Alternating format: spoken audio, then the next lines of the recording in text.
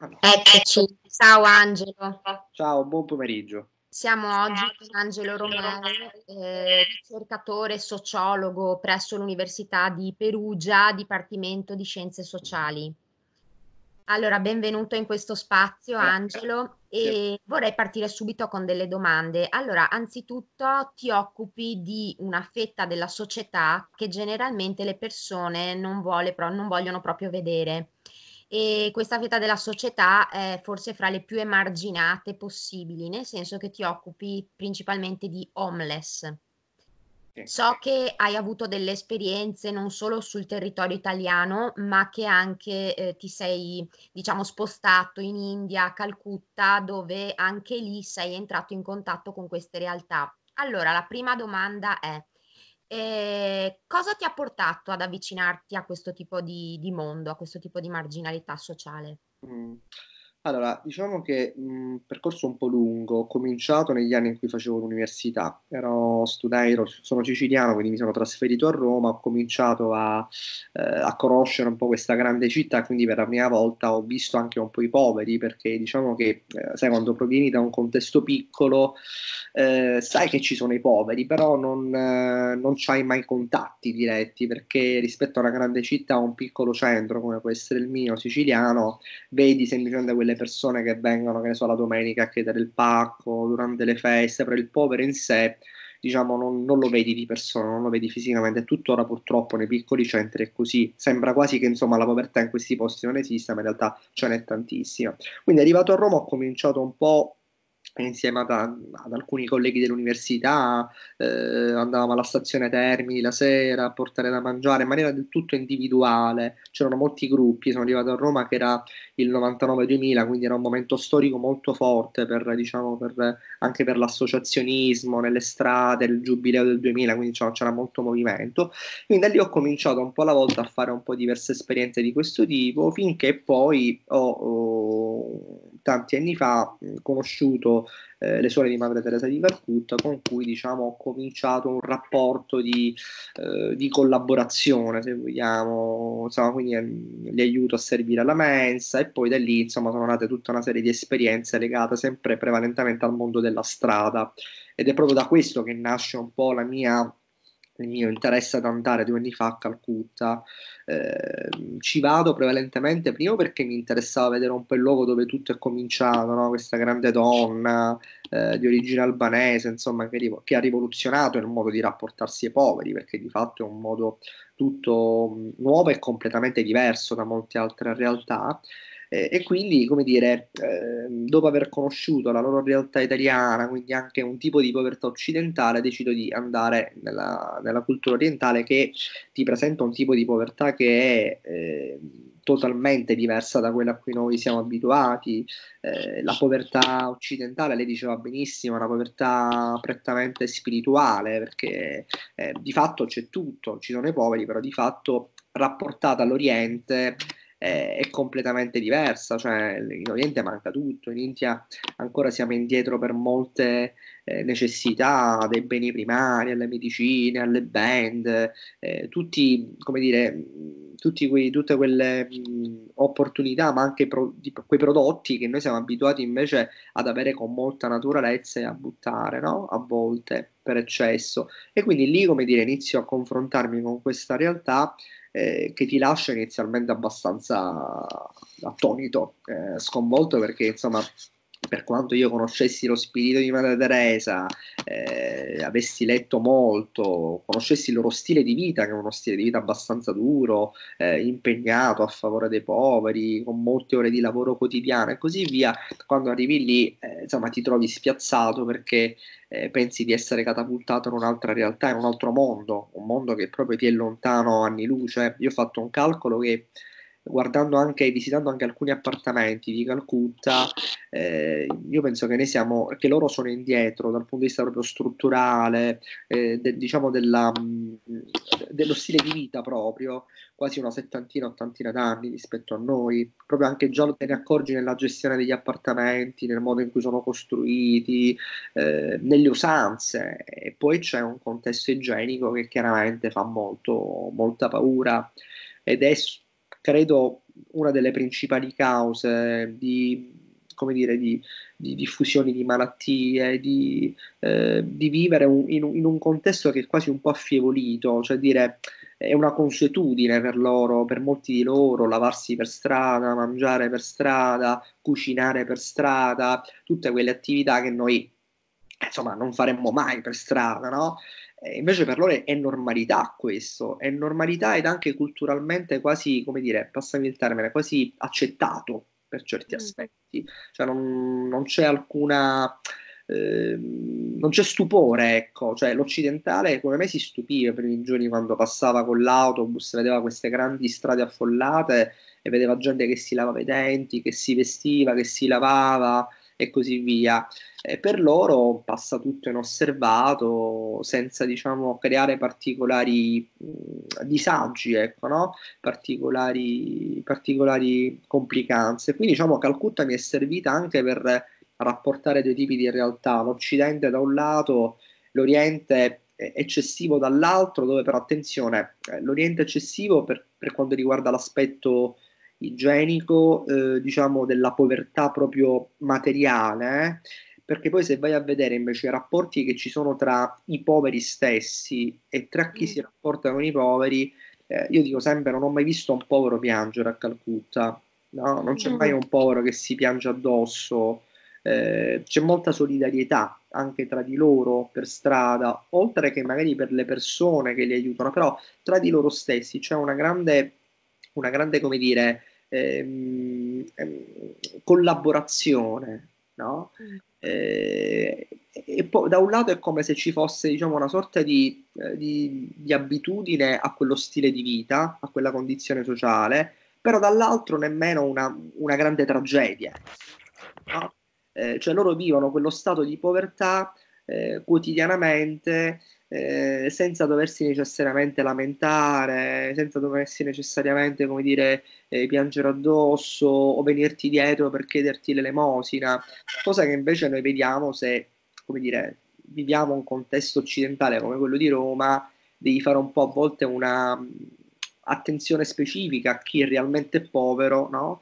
Eh, e chi invece diciamo, tra virgolette, si maschera povero, no?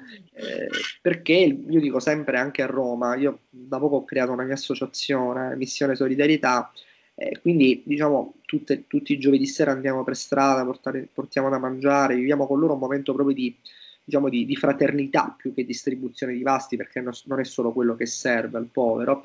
E negli, certo. anni, negli anni mi sono reso conto che ci sono, come dire, forme di povertà che noi non conosciamo. Cioè, il vero povero non ti chiede mai se ha bisogno di qualcosa, in genere. Eh, devi essere tu che lo devi andare a cercare. Invece il povero, come dire, che talvolta ci marcia su e che magari non ha una condizione di povertà estrema, è quello che invece viene lì, ti chiede soldi, ti chiede questo, ti chiede quello, no? Eh, quindi bisogna fare anche molta attenzione nel modo di rapportarsi alla povertà, perché se no il rischio è di, come dire, di, eh, di, di fare più attenzione a quella persona che non ha bisogno, eh, sottovalutando, mettendo al margine chi invece non parla e invece ha delle difficoltà notevoli. Certo. E come mai ci sono queste differenze, secondo te, molto interessanti peraltro? Da che cosa dipende? È una questione culturale, psicologica, sociale? Io credo che, sai, a volte la, eh, anche la disperazione, no? La disperazione mm. di, una, di, vivere una determinata condizione sociale porta le persone a, eh, non dico a costruire, però a, diciamo, a tracciarsi un percorso eh, dove possa, come dire, quando meno rimanere a galla. No? C'è la disperazione, questo eh, volercela fare a tutti i costi a volte, no? ti porta ad essere, come dire, ad uscire le unghie e ad appoggiarti, ad aggrapparti a delle, a delle ipotesi, eh, delle ipotesi dire, che, non ti voglio, che, che, che, ti consentono come dire, di non schiacciarti, di non farti schiacciare. Invece il povero, povero, no? quella persona che vive strada, che non, ha, che non ha invece nemmeno quella furbizia di fare questo, ma lo fa con molta ingenuità, sa che in un certo senso un po' vive lì, quella sua condizione. Se non vedi tu che gli porti qualcosa da mangiare, non viene e si lascia andare. No? Mm invece diciamo il, il, la persona che, che, si, dire, che, si, costruisce questo percorso, che a volte finisce anche con l'inventare delle storie e così via, lo fa perché ha da un lato una disperazione molto forte. No? Io dico sempre, quando queste persone vengono a bussare alle porte delle mense, a chiedere vestiti e magari non ne hanno bisogno più di tanto, c'è già qualcosa che non va comunque. Eh, certo. nessuno verrebbe a mangiare in una mensa, nessuno verrebbe a chiedere un un paio di pantaloni, no? Eh, se stesse bene. Quindi c'è da un lato questa doppia lettura, cioè c'è una, una, una, questione, come dire, di, eh, di volercela fare, dall'altro però anche intervengono dei problemi psicologici che spesso e volentieri sono evidenti in molte persone. Certo. Ecco, ehm, ci vuoi raccontare un po' appunto che tipo di lavoro svolgete con la tua associazione? Come funziona un'unità di strada? Mm, un po' che tu ci raccontassi un po', ecco, un po' di questa realtà. Sì, è, guarda, è una classica giornata tipo. Mm. Io, cioè è, è, un giovedì sera, in genere ci muoviamo sempre da, da Corso Vittorio Emanuele dove c'è la Chiesa Nuova e ci spostiamo un po' a piedi insieme ad altre persone che mi aiutano. Eh, io preferisco prevalentemente spostarmi in quei posti in cui mh, molte associazioni e gruppi non vanno, perché sai, Roma eh, se tu vai alla stazione Termine è strapiena di, di, no, di, associazioni e così via, va benissimo quello, però ci sono poi molte realtà purtroppo che rimangono un po', un po' come dire, isolate da questo, no? quindi ho fatto anche una scelta di questo tipo, noi ci dirigiamo sempre spesso lungo, lungo Tevere, sotto i ponti, in queste zone un po' meno conosciute, dove con, è, con le persone che ci vivono in queste baraccopoli si è creato un rapporto di, di, amicizia, quindi li andiamo a trovare, gli portiamo un pasto caldo, passiamo un po' di tempo con loro, a volte raccogliamo anche delle richieste, diciamo delle, delle esigenze laddove possibile, cerchiamo di aiutarli, di indirizzarli in dei dormitori, quindi non è solo il mangiare che gli portiamo, eh? Eh, e quindi lo, facciamo questo percorso che parte dalle 6 del pomeriggio, dura all'incirca una o due orette, eh, facciamo un po' tutta la zona del Lungotevere fino a Via della Conciliazione e zone limitrofe. Ed è molto bello perché bello, però da un certo punto di vista anche molto triste perché per strada incontri per esempio molte donne che vivono sole, che dormono ma è molto difficile a volte perché molte di loro sai, quando vedono soprattutto degli uomini hanno paura, no? Giustamente. Poi un po' alla volta si lasciano andare nell'amicizia, quindi si ricordano di te e si avvicinano quando tu vai per strada. Ed è, credo, io penso che la strada rispetto a tante altre realtà, no? rispetto alla mensa, eh, ai centri di ascolto, eh, sia quel posto in cui eh, vivi, da, vivi proprio in maniera molto forte il senso della povertà. Perché sai, quando vengono in mensa li vedi entrare, si siedono e poi soprattutto non li conosci più di tanto, no? Quando invece li incontri per strada, quotidiana, settimanalmente li vai a trovare, ti ricordi i loro nomi, io chiedo sempre come si chiamano, loro, loro si ricordano di me, di altre persone che mi accompagnano, si sta un rapporto quasi di amicizia, di eh, un contatto che solo la strada ti può dare, perché sei tu che li vai a cercare, no? Invece, mentre in quel caso nelle mense o nei dormitori loro vengono, eh, lì sei tu che in un certo senso li devi andare a trovare perché altrimenti rischierebbero proprio di essere, come dire, to- totalmente staccati eh, dalla società. Io eh, spesso vedo sotto il Tevere delle realtà insomma che sconoscevo totalmente, di persone che non ho mai visto sopra la città, dico sempre io, perché è come se Roma avesse questi due spazi. Da un lato c'è la città, no? dove si muovono gli autobus, dove noi corriamo dalla mattina alla sera, chi va in ufficio, chi va a scuola, all'università. Poi giù c'è tutta un'altra città eh, che, che appare sconosciuta al mondo, al mondo proprio ed è una cosa molto eh, triste perché ci sono tante vite umane, tanti giovani eh, e soprattutto questa è una cosa che io vorrei dire, non ci sono solo stranieri, eh, perché spesso e volentieri si passa un po' questo messaggio, eh, gli stranieri che vivono in strada, eh, tornassero al paese loro, gli spot che ormai siamo abituati a sentire purtroppo. Di fatto ci sono molti italiani per strada, ce ne sono tanti, padri separati, io conosco tantissimi padri separati che non ce la fanno a vivere, eh, diciamo a, a, a mantenere, no? Eh, le famiglie di provenienza e la loro e quindi finiscono sul lastrico a vivere strade. Quindi queste realtà sono in un certo senso abitate da queste persone prevalentemente, quindi non è solo il povero che noi pensiamo essere il tipo, il signore, la signora col carrozzino alla stazione Termini, no? Eh, che porta i suoi, i suoi indumenti. Ci sono molte persone che sono diciamo nascoste nella povertà, persone con la giacca, con vestite magari discretamente e che di fatto vivono in strada, che tu dici non certo. potresti mai immaginare che quella persona è povera. Quindi, diciamo, la mia associazione nasce prevalentemente per questo, cioè andare a cercare queste persone e dimostrare loro eh, nei limiti del possibile, per il momento è una piccola realtà, eh, una, un rapporto di solidarietà, di aiuto ehm, e anche di, di, farli uscire un pochino da quel contesto, perché chi vive strada in genere ti dice sempre se io parlo con i poveri che dormono accanto a me, io parlo con loro solo di questioni legate alla nostra condizione, se invece vieni tu che non sei povero, allora io con te posso fare due chiacchiere, quindi posso, posso immaginare che la mia vita ancora un senso ce l'ha, no? In questo senso. Mm. Ecco, queste situazioni di povertà sono quasi mai riscattabili o ci sono delle storie di persone che alla fine riescono comunque a eh, riprendere un contatto con la società? Ci sono, guarda, ci sono molte, sì, ho visto, raccolto negli anni molte situazioni di storie di persone che ce l'hanno fatta, però mm. eh, persone che ce l'hanno fatta e sono, hanno intrapreso un nuovo percorso di vita, persone che ce l'hanno fatta e poi sono ricadute nuovamente, perché mm. un po' eh, il rischio quando ce la fai, soprattutto con quelle persone che hanno difficoltà di dipendenze eh, dal gioco, dal, dagli stupefacenti e così via, insomma, il limite tra il cadere e rialzarsi e ricadere è, è sottile, soprattutto certo. se non è un aiuto alle spalle. Però in questi anni mi è capitato di avere delle storie molto belle di persone che ogni tanto vedo che lavorano nei bar, nelle pizzerie, che, che ce l'hanno fatta, che prima dormivano in strada, che quindi non, ho tantissimi ragazzi per esempio che venivano dalla comunità di San Patrignano che uscendo dalla comunità si erano ritrovati un po' soli eh, come purtroppo può succedere a le, tutti, tutti, i percorsi comunitari, insomma, uscendo poi riesci, puoi essere un po' come dire, no? Eh, così sperduto, senza alcuni punti di riferimento, però molte di queste persone poi adesso ce l'hanno fatta, quindi eh, lavorano, fanno un lavoro dignitoso, si sono affittate delle stanze, spesso anche tra di loro è successa questa cosa, eh? due, tre di loro che vivevano in strada che hanno trovato un lavoro, si sono aiutati l'un con l'altro, hanno intrapreso un percorso di vita. Però certo è molto difficile perché purtroppo una, dei, una delle domande che ti fanno loro in strada è ma aiuti a trovare un lavoro?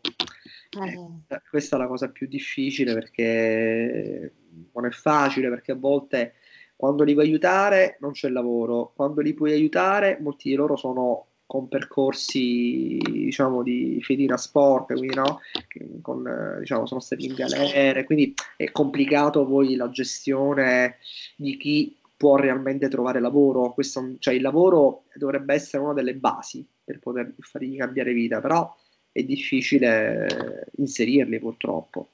Certo. Senti Angelo, so che hai scritto anche un libro molto interessante dal titolo un po' provocatorio che si chiama Non chiamateci Barboni. Sì. Tu ce l'hai, ce lo vuoi mostrare? Ce l'hai da qualche parte lì vicino a te? No, non ce l'ho come film. Va bene. Di che cosa parla questo libro? Allora, il libro è proprio, era un po' il mio diario, era il mio diario di molte sere, diciamo, trascorse a Roma con i poveri. Eh, io in genere credo che la scrittura sia proprio uno delle dei momenti forse terapeutici per chi ha a che fare con queste persone, certo. perché sai, quando vai in strada eh, a volte rimani un po' basito per le storie che ti vengono raccontate, a volte sei contento perché rivedi delle persone che ce la fanno, però è chiaro che immagazzini tante di quelle emozioni più delle volte che è difficile da, da realizzare, da contenere, no? E quindi ho cominciato negli anni proprio a scrivere un po' tutto quello che mi succedeva anni, quest'anno ho deciso di pubblicare questo libro, chiaramente togliendo insomma, i nomi delle persone e ci sono alcune storie di persone che ho incontrato lungo la cupola, cupola di San Pietro, sotto il Tevere, in molte situazioni e in più c'è una parte, un appendice che è tutto il mio diario a Calcutta, quindi tutte le mie giornate a Calcutta, quindi è un po' una mia esperienza biografica vissuta con loro eh, ed è proprio il nome ha un senso perché eh, era, era, una voce, è proprio un mm. urlo che una sera eh, sentì a Piazza San Pietro di un uomo che diceva non siamo solo barboni, non chiamateci barboni, no? Ed era un grido di sofferenza, ma anche un grido di, dire, di disperazione, di, di aiuto, no? perché spesso e volentieri stare strada eh, ed essere etichettati no? come barboni fa sì che poi finisci col credere di essere realmente quello e di non poter pensare di cambiare, no? anche tra di loro, certo. spesso e volentieri per, per offendersi, mi dicono guarda sto barbone, no? cioè dire come se loro non lo fossero, molti di loro. E questa è una cosa molto brutta perché la nostra società è una società, come dire, fortemente mh, carica di etichette, no? di categorie, eh, e non mi piaceva proprio, a me non è mai piaciuto questo nome, il, bar, il barbone di per sé. Quindi poi quando ho, ho sentito questo grido di, di, questa persona che diceva non chiamateci barboni, per me è stato un po' una lampadina che mi ha detto beh forse è il caso di mettere per iscritto, di far conoscere un po' queste storie, di lanciare un messaggio che eh, questa condizione sociale non deve essere una condizione eh, come dire che dura tutta la vita, eh, può succedere, si può cadere eh, però ci si deve rialzare, no, ci si deve rialzare. Quindi, chiaro che questo libro, io dico sempre, non è un libro sociologico per me perché è un, è un libro che sta a metà tra l'esperienza biografica e anche la mia esperienza di fede, però a prescindere da quello, eh, chiunque può rapportarsi ai poveri, cioè chiunque può farlo ehm, e fa molto bene a noi stessi, più di quando possa fare bene a loro. Certo. E senti Angelo, mh, mm, appunto hai un po' anticipato la mia domanda, ovvero come reagisce la, la società in genere eh, di fronte a questo tipo di fenomeni? Eh, mi pareva di aver capito che c'è una differenza fra la società, ad esempio, di Calcutta e la nostra società, perché noi tendiamo molto a stigmatizzare, a etichettare, eccetera, eccetera, ma ci sono del- dei casi in cui la società riesce veramente a fare qualcosa di buono per riscattare queste, queste situazioni? Sì, è chiaro, beh, sono due realtà diverse, eh, eh, l'Oriente, l'Occidente. Eh, a me la cosa che colpisce spesso e volentieri è il modo in cui eh, si fa un po', si cerca di aiutare queste persone, ok? Cioè mh, l'associazionismo, ehm, l'aspetto diciamo legato al, alla fede, al mondo laico in generale, no? Quando si rapporta ai poveri non è sempre uguale non è sempre uguale. Queste ci sono persone che magari non hanno mai avuto rapporti con loro eh, e loro stessi mi raccontano, i poveri stessi mi raccontano quando si rapportano in strada con loro, che ne so, gli portano un piatto di pasta e scappano, no? Vanno via, quasi ad avere paura. Eh, oppure una coperta gliela lanciano, no? E quella è una cosa molto brutta perché ti fa capire anche della la paura che le persone hanno dei poveri. È vero, noi siamo abituati, come dire, a a, a, una cronaca quotidiana che ci ha abituato ormai a sentire di tutto, no? Eh, però mh, mm, eh, da, da, dall'altro lato, come dire, eh, dobbiamo fare un po' attenzione perché quando ci troviamo di fronte a queste persone, sono degli esseri umani. Io spesso vedo gente che con i cellulari cammina per, per Roma e nemmeno si rende conto che ci sia una persona che sta dormendo, siamo talmente assuefatti da questo nostro mondo parallelo, no?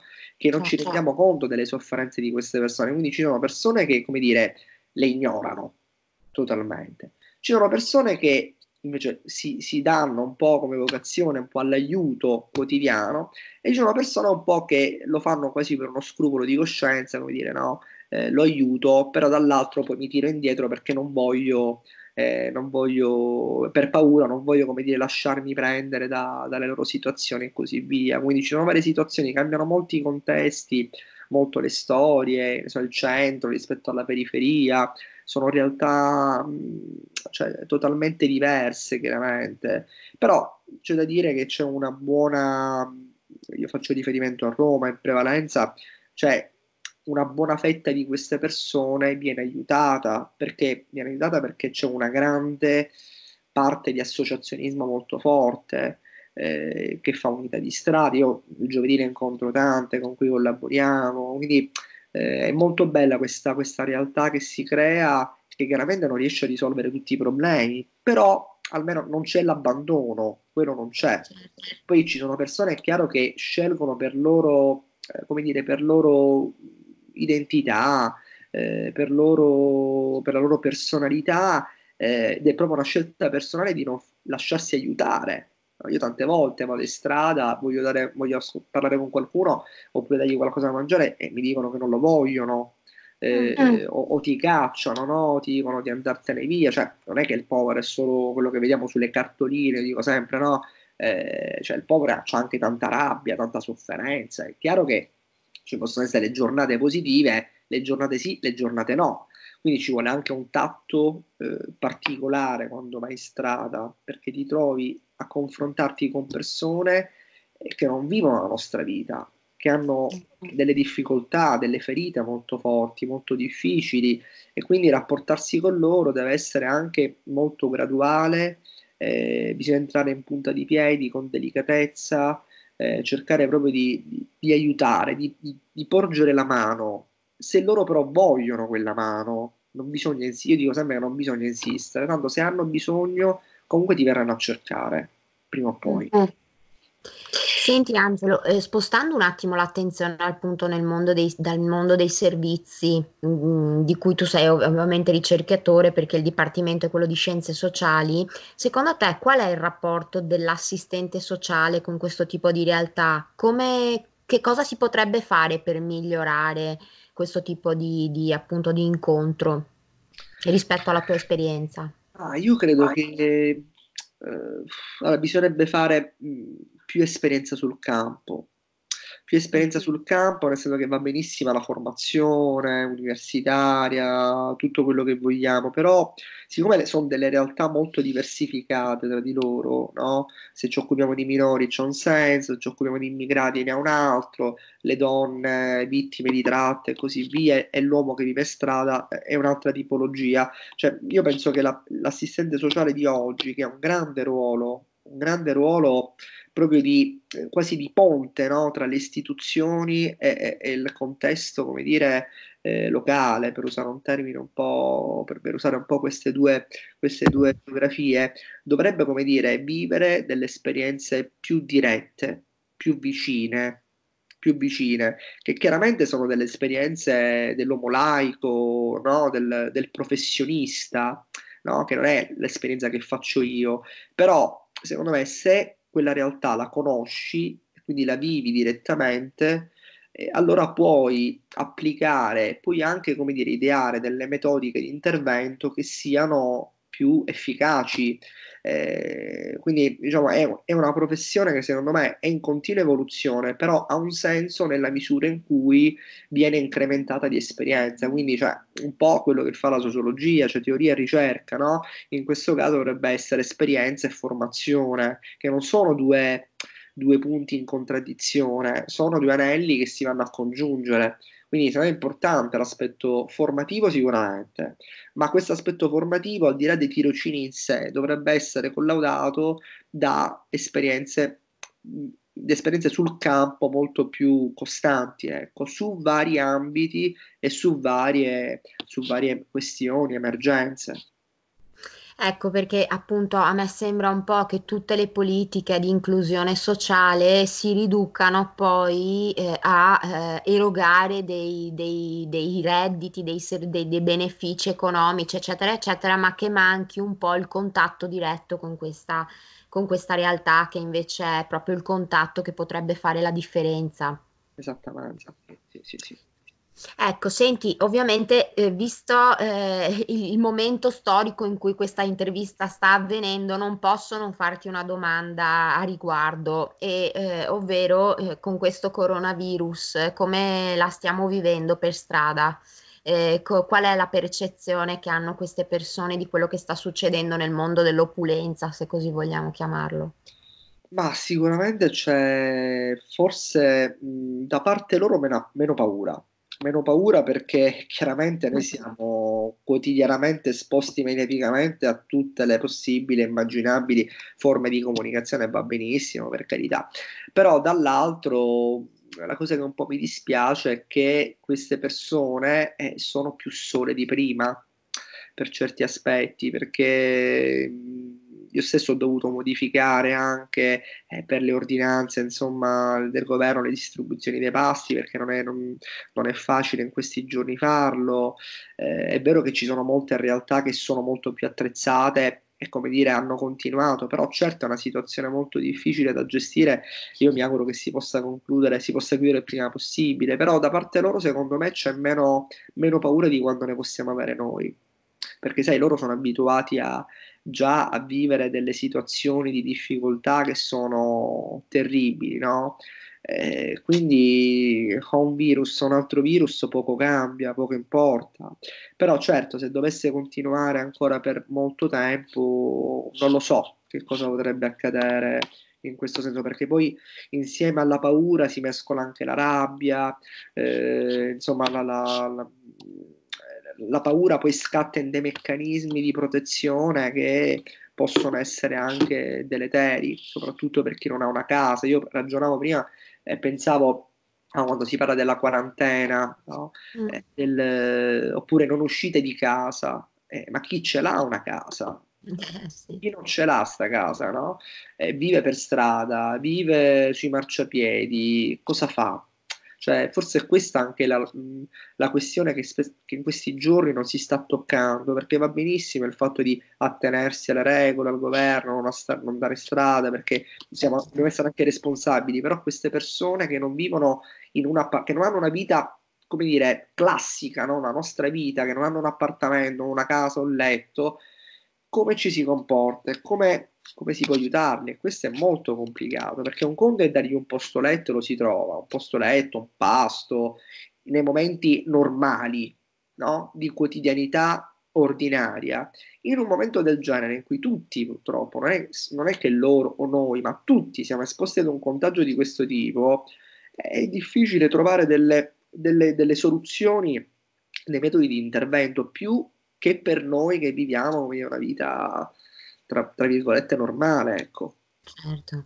Senti, c'è il caso di una di queste persone che vuoi raccontare un, una storia a te particolarmente cara o che ti ha insegnato davvero qualcosa rispetto a questo tipo di azioni che stai intraprendendo? Sì, c'è una storia che, di cui parlo anche all'interno del libro, è una persona che purtroppo non c'è più, eh, si chiamava era, era un marocchino, era di origine marocchina, eh, un uomo che, come dire, secondo me rappresentava un po' come diceva Madre Teresa il più povero tra i poveri perché era, viveva sempre in strada eh, spesso e volentieri si lasciava andare come dire al, all'alcolismo per, per, depressione e quant'altro.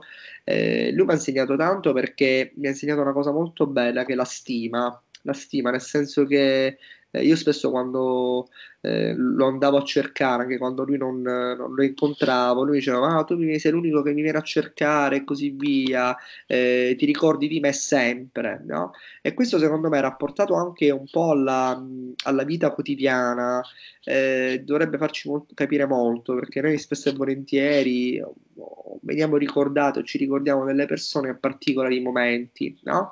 Eh, invece queste persone, le persone, no? L'individuo eh, c- c'è sempre, in qualsiasi momento, sia quando sta, sta bene, sia quando sta male, sia quando scherza, sia quando piange. E Jonas, questo mi ha insegnato tanto perché era una persona che solo al mondo proprio, non aveva nessuno, eh, non poteva tornare a casa sua perché non aveva soldi, non poteva, eh, non poteva come dire, ritornare nella sua terra, non poteva nemmeno sentire talvolta sua madre al telefono, proprio per, per questioni economiche, anche perché non c'erano i mezzi per metterla in comunicazione con la madre. E lui, devo dire, aveva un affetto, un rispetto eh, che superava proprio forse l'identità di un comune cittadino che quotidianamente può incontrare, pur essendo, come dire, spesso e volentieri trasantato, sporco, eh, mm. abbandonato, perché eh, c- molte di queste persone, tra cui lui, eh, sono quelle persone per cui tu puoi fare anche una piccola cosa, eh, per loro vale tantissimo eh, ti ringraziano cento volte, eh, magari noi invece facciamo sedere una persona normale, tra virgolette, sull'autobus, quella persona lo dà per scontato, per dovuto, no? Invece per loro, tra cui lui, eh, questi gesti, anche più semplici, anche più piccoli, potevano diventare delle svolte per la loro giornata. Certo. Ecco, ehm, un'ultima domanda, io so che tu ti occupi anche di mm, nuove forme di lavoro sul web, eh, con i social network, eccetera, eccetera. Mm, ci vuoi raccontare un attimo di, di questa cosa e soprattutto che consiglio daresti a una persona che sta iniziando la sua carriera e che si trova a confrontarsi con questo tipo di realtà che a volte sono interessanti davvero, altre invece sono fasulle? Ma sai, allora io studio molto di digitale, quindi mi occupo molto di comunicazione digitale, di web. Eh, è chiaro che il web ha rivoluzionato totalmente la vita professionale, qualsiasi vita professionale, dal giornalismo alla docenza, eh, alla, ad ogni forma, diciamo, di, di, di, professionalità tradizionale, perché tutte le professioni ormai sono toccate dal, dal mondo digitale. Io dico sempre che sì, è vero che il mondo digitale ha rivoluzionato rivoluzionato la vita e forse ti, ti, dà delle opportunità di metterti in contatto con persone che prima non avresti mai potuto incontrare o conoscere, no? Sì. Eh, de- anche degli spazi, diciamo, comunicativi che prima erano inesistenti. Però bisogna fare attenzione perché non va sostituito l'aspetto, come dire, eh, formativo con una mera presenza in rete e il rischio c'è perché se noi mettiamo, basta guardare un po' gli avvisi, insomma, delle, delle richieste di lavoro sulla rete, no? Eh, spesso rimani un po', come dire, un po' sconcertante perché mh, mm, rimani un po' basito perché dici, vabbè, va benissimo, cioè, c'è una richiesta di, in rete di queste persone, però eh, bisogna vedere queste persone che sanno fare. Cioè, non è che il fatto di stare in rete non deve essere, come dire, una giustificazione per dire io lo dico al mondo e qualcuno forse mi, mi, prenderà a lavorare, cioè ci deve essere una formazione e anche una competenza che non è che con la rete, col mondo digitale non esiste più, c'è sempre. Anzi, forse ce n'è di più perché sono aumentate le professionalità, sono aumentati gli spazi lavorativi. È un dato positivo il fatto di poter utilizzare la rete come nuovo ambito, come dire, applicativo di, di queste competenze. Pensiamo a tutto quello che succede in questo tempo di coronavirus eh, con, eh, con, la riscoperta e con il miglioramento della, della distanza, no? eh, della teledidattica, eh, che spesso e volentieri invece è stata sempre considerata una forma di comunicazione molto eh, secondaria, diciamo certo. di secondo livello. Invece in questo momento storico in cui siamo tutti chiusi in casa, eh, siamo, no, siamo, costretti anche a rivalutare questo utilizzo della rete. Questa è una cosa interessante che spero possa continuare poi nel tempo, non solo in questo momento. Quindi eh, cioè, c'è un'attenzione specifica perché è cambiato un po' la realtà, il modo di rapportarsi al lavoro, però c'è anche un modo, come dire, di guardare a questa professionalità che non va, come dire, ridimensionato, non va ridotto, ma anzi va sempre più incrementato di competenze. Certo. Senti Angelo, ehm, ci vuoi dare un messaggio di serenità di fiducia in questo momento in cui siamo anche noi emarginati sociali e forse gli homeless a questo punto lo sono meno di noi in questo preciso momento perché almeno loro stanno tutti insieme per strada, a noi invece eh, ci è stato imposto di chiuderci nelle nostre case. Ci vuoi dare un messaggio di serenità con cui chiudere questa, questa... Sì, io guarda, parte la, io sono sempre molto ottimista per la mia, perché avendo visto spesso e volentieri molte realtà in India, basta vedere tutte le mie giornate, come erano strutturate in India, ho visto delle cose insomma anche di malattie, deturpazioni fisiche che insomma ti rimangono dentro, no? Eh, quindi è chiaro che quando vivi invece una realtà come questa, in cui stai a casa tua, sì, ti puoi proteggere, è tutta un'altra, tutta un'altra storia. Eh, io spero che, al di là del fatto che si concluda tutto nel minor tempo possibile, mi auguro che questa esperienza che noi stiamo facendo, dello stare chiusi, dello stare lontani, no, possa in un certo qual senso eh, aiutarci a comprendere il vero senso proprio della, della nostra quotidianità, no? dei nostri rapporti, eh, quindi di guardare all'abbraccio, alla carezza, alla stretta di mano con più attenzione, alla vicinanza proprio, no? eh, con, più, con più attenzione perché è come se negli ultimi anni l'avvento delle tecnologie che sono straordinarie, che ci aiutano tanto, abbiano ridotto questo, no? E quindi forse questo momento in cui invece noi stiamo riscoprendo un po' lo stare più a casa con i nostri cari, no? quelle persone a noi care, eh, che non possiamo a volte abbracciare il nostro amico, la nostra amica, stringergli la mano, dargli un bacio, no? possa, come dire, farci capire che quando mancano questi momenti eh, per l'essere umano è brutto, cioè l'essere umano ha bisogno di, di, di relazionalità, ha bisogno proprio di, eh, di vicinanza, di prossimità, no?